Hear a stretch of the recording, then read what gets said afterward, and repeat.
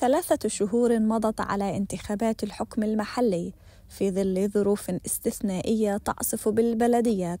ربما هي الأصعب فالحرب الإسرائيلية على قطاع غزة بالإضافة إلى آفة العنف والجريمة والأوضاع الاقتصادية التي تعصف بالمواطنين.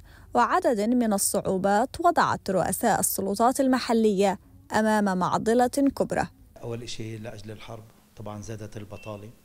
وهذا بيؤدي إنه الناس عم تستصعب إنه تدفع الضرائب الأرنونة. وأكثر من هيك البطالة بتؤدي إنه إحنا نعطي تخفيضات كبيرة في الأرنونة.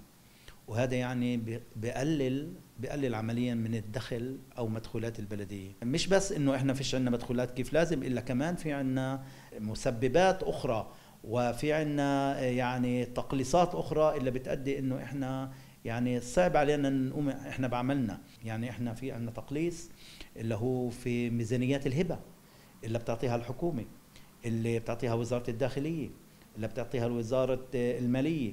وإحنا اليوم يعني وقفوا لنا إياها كلياتها. يعني عمليا هذه الهبة اللي كانت تعملنا نوع من التوازن في الميزانية تاعتنا بدهن بدهن ياخذوا لنا إياها يعني. وفي حين تعاني السلطات المحلية من التقليصات الحكومية إلا أنها تعاني أصلا من شح في الميزانيات الممنوحة وعجز مالي قيد بعضا منها مما يحد السلطات المحلية من تقديم كافة الخدمات للمواطنين وتطوير مشاريع التطوير التقليصات الحكومية التي أتت في أعقاب الحرب المستمرة وهذه التقليصات تقليصات عرضية في الميزانيات ميزانيات التطوير والخطط الحكومية التي أتت لدعم آه، المجتمع العربي مثل خمسة خمسة صفر.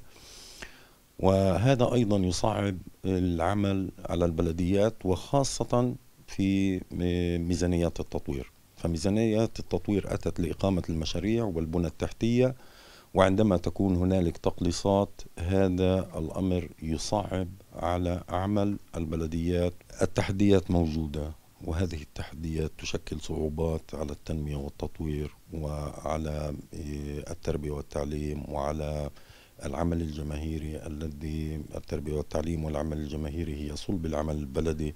يتخوف العديد من رؤساء السلطات المحلية والخبراء من انهيار منظومة الحكم المحلي إذا ما استمرت الحكومة بنهجها الإقصائي وسوء إدارة الأزمة المالية مما سيؤدي إلى تفاقم العنف والجريمة والفقر الذي يعاني منه أساساً معظم المواطنين العرب.